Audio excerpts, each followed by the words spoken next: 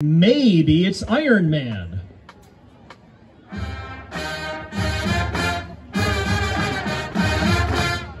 Or maybe it's the God of Thunder, Thor.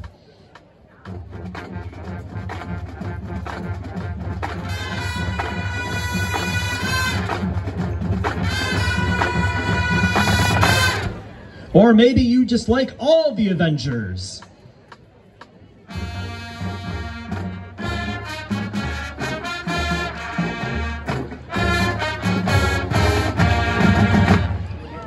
Our favorite heroes are that ragtag group from outer space, the Guardians of the Galaxy.